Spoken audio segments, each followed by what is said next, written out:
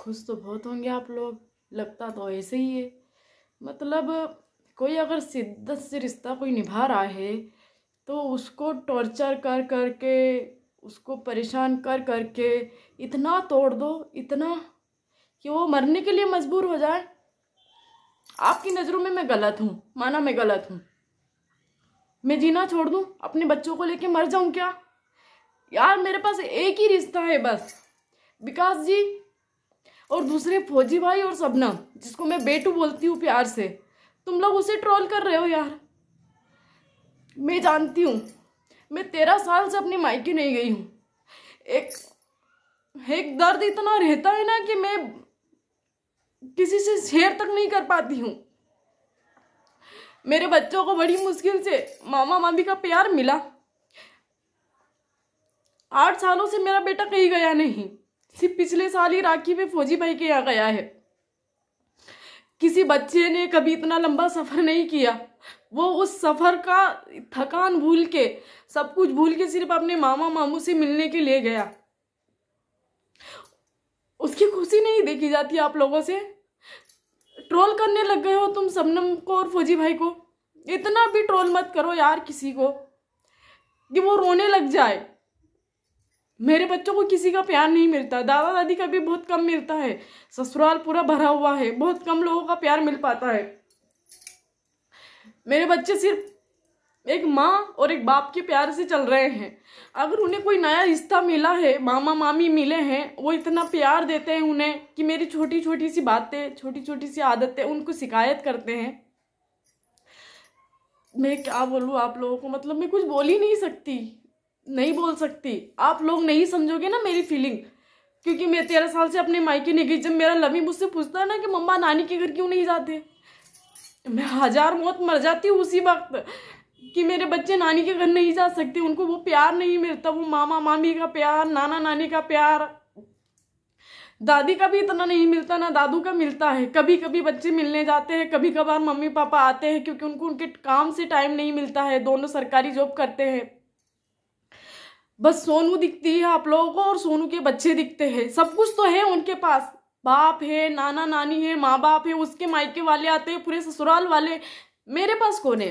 सिर्फ़ मेरे बच्चे और विकास जी। उसमें एक रिश्ता मुझे मिला है फौजी भाई और सबनम का। इतना प्यार मिला है मुझे उस रिश्ते में कि जब भी अगर मैं वो वीडियो भी देख लेती हूँ ना तो दिल भर आता है मेरा। उस वीडियो को देखते ही दिल भर आता है। मतलब एक इमोशनल ऐसा हो जाता है कि तुम लोगों को मतलब बिल्कुल शर्म नहीं आती है? तुम लोग मुझे गाली देते हो, मैं मैं सहती हूँ ना, इतना गाली देते हो, इतना गंदा गंदा बोलते हो कि बाप रे बाप। तुम लोग उसको अभी ट्रोल कर रहे हो, उसने एक वीडियो डाला, मैंने वो वीडियो देखा, एक बंदा इतना ट्रोल कर रहा है उसे कि मतलब बता नहीं सकती हूँ यार। वो मेरे बच्चों की खुशी के लिए आते हैं। मैं अपनी खुशी के लिए नहीं बुलाती हूँ। मुझे तो आदत हो गई है गुट गुट के रहने की, अकेले रहने की। मेरे बच्चे हैं ना छोटे छोटे उनके दिमाग पे कोई असर नहीं डालना चाहती मैं अभी। वो बहुत छोटे हैं। तुम लोग हर वक्त हर चीज़ के लिए सिर्फ़ पिंकी पिंकी के बच्चों के साथ ये हो जाएगा, वो हो जाएगा। क्या सोनू के बच्चों को सब मिल तो रहा है ना? नाना नानी का प्यार, दादा दादी का प्यार, बुआ का प्यार, सबका प्यार मिल रहा है। मेरे बच्चों को सिर्फ़ विकास जी का प्यार मिलता है और किसी का नहीं। उसमें एक रिश्ता और है, फौजी भाई और वो उन लोगों से बात करते हैं वीडियो कॉल पे आना जाना बहुत कम करते। आप लोगों ने वीडियो देख लिया? सोनू को नहीं प्यार किया। उस वीडियो में पुराना वीडियो होगा जब फौजी भाई मेरे से फ़र्स्ट टाइम मिलने आए थे। उस वीडियो पे से तुम इतना हंगामा खड़ा कर रहे हो। यार मेरा जितना अटैच बेबू बाबू से और बेटू से मेरा है उतना सोनू का नहीं है। सोनू उतनी बात नहीं करती बेटू से। मे, मेरा एक वो रिलेशनशिप है उससे एक जो वो एक लगाव है कि मैं उससे एक दिन भी बात करे बिना नहीं रह सकती। विकास जी भी कभी कोई मुझे डांटते हैं क्या सारा दिन बेटू बेटू बेटू बेटू करती रहती हूँ? बोले अब लोगों को बिल्कुल मेरे बच्चों पे नहीं दया आती। कि मेरे छोटे छोटे बच्चे को अगर किसी का प्यार मिल रहा है, नाना नानी का या मामा मामी का, आप लोगों से वो नहीं देखी जा रही है बिल्कुल भी। कितना टॉर्चर करते हो यार कि इंसान मजबूर हो जाता है। मैं अपनी स्माइल के पीछे हर दर्द छुपा लेती हूँ, सिर्फ़ अपने बच्चों के लिए। कभी उनकी वजह, उनके सामने एक आँसू नहीं, आँख से गिरने देती। क्यों? क्योंकि वो अगर मुझे इस तरह टूटते हुए देखेंगी तो उन पर क्या असर पड़ेगा? मैं अपनी एक स्माइल पे सारा सब कुछ छुपा लेती हूँ, मुझे दर्द नहीं होता। आज मेरी जगह एक एक ही, एक सोच के देखो कि आपके जीते जी, आपके माँ बाप ने आपकी पिंडदान कर दिया आपकी लंबी चौड़ी फ़ोटो पे हार चढ़ा रखा है। तो अब जीते जी मर चुके हैं उनके लिए। मैं, मैंने भी कहा, जिसे शादी करी खैर उन्होंने जो किया, वो उनका समाजी विवाद था कि दूसरे समाज में शादी कर ली, इसलिए उन्होंने ऐसा किया। आप लोगों को मेरी खुशियों में क्यों इतनी तकलीफ़ होती है? अरे इंसान आजकल की दुनिया में किसी की खुशी से ज़्यादा खुश नहीं होता है। मतलब जिसके किसी के दुख से ज़्यादा खुश नहीं हो, उसको जितना दुख मिलेगा पड़ोसी या दूसरे उतना खुश होंगे। क्यों करते हो यार? एक ही तो रिश्ता है मेरे पास। मत करो प्लीज़ मैं हाथ जोड़ती हूँ, मेरे बच्चे ना, बड़े मासूम है। छोटी छोटी सी नित्या तो इतनी शिकायत करती लाइन में भी बैठी रहती हूँ मैं समम के साथ में। इंस्टाग्राम पे तो वहाँ भी शिकायत करती मामी, ऐसा मामी, ऐसा, मामू, मम्मा ने आज ये कर दिया, मामू, मम्मा ने हमको मारा। मेरा वर्क मैं इतना काम घर का करके फ्री होती हूँ, सिर्फ़ अपनी खुशी के लिए वीडियो बनाती हूँ। मैं किसी की सिंपैथी से यहाँ तक नहीं आई हूँ, अपने दम पे आई हूँ, अपनी मेहनत से आगे बढ़ी हूँ मैं। आप लोगों को वो नहीं दिखता, बस पिंकी के साथ वीडियो बना लिया, विकास जी ने उसके साथ की वीडियो नहीं दिखते। अगर वो वो दिखा रही है, अगर वो दिखावे से अगर आप लोगों को ऐसा लगता है कि मैं गलत हूँ तो हाँ मैं हूँ गलत। मुझे ये दिखावा नहीं आता। अगर मैं सूखी रोटी भी घर में खा रही हूँ ना तो मैं लोगों को ये दिखाऊँगी कि मैं छत्तीस रंग के पकवान खा रही हूँ घर में, क्योंकि मुझे आदत नहीं है। मैं हमेशा अपने विकास जी को ऊपर उठता हुआ देखना चाहती हूँ। कभी उसको, कोई, किसी के सामने उसको नीचे नहीं गिराऊँगी उनको कि हाँ कि मैं आधी रोटी खा रही हूँ तो इनकी गलती आज की मुझे आधी रोटी खिला रहे हैं।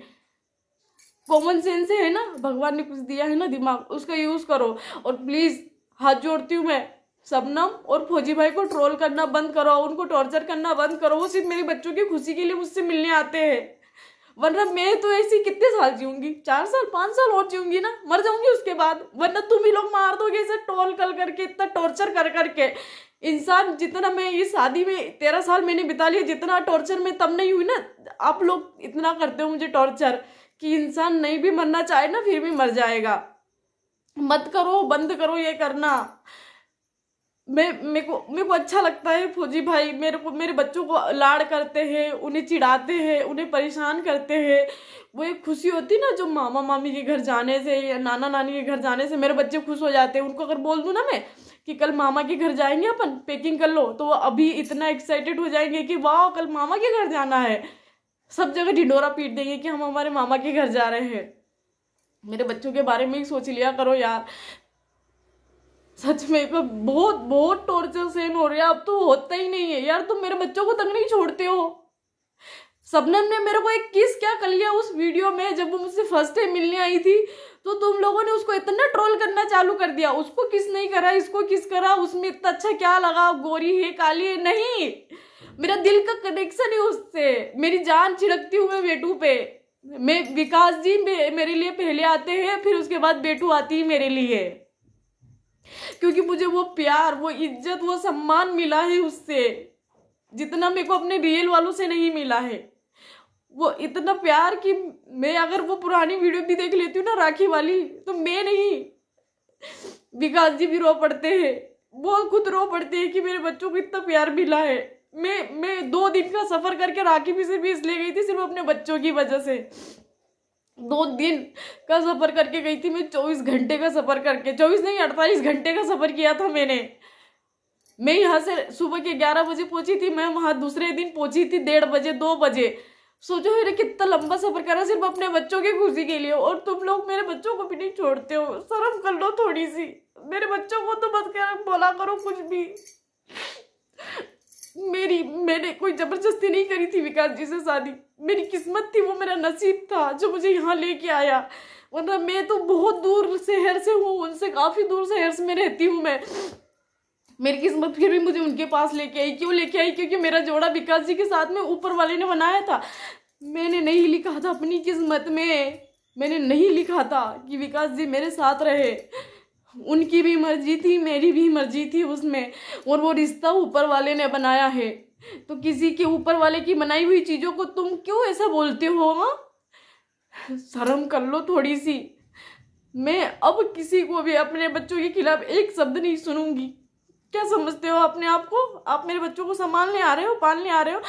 मैं सुबह से घर के काम करके, उनको कोचिंग उनकी स्कूल उनकी पढ़ाई करवा के खुद के लिए टाइम निकालती हूँ वीडियो बनाती हूँ। उसमें भी आप लोग इतना टॉर्चर कर देते हो। कोई काम नहीं है फ्री रहती है लाइव बैठती है वीडियो भी बना लेती है ब्लॉग भी बना लेती है। बच्चों को संभालती है कि नहीं, खाना कब बनाती है? मैं सब कर लेती हूँ। आप लोग मत इतना सोचो, मत इतना ट्रोल करो मुझे प्लीज़ आप लोगों से रिक्वेस्ट है।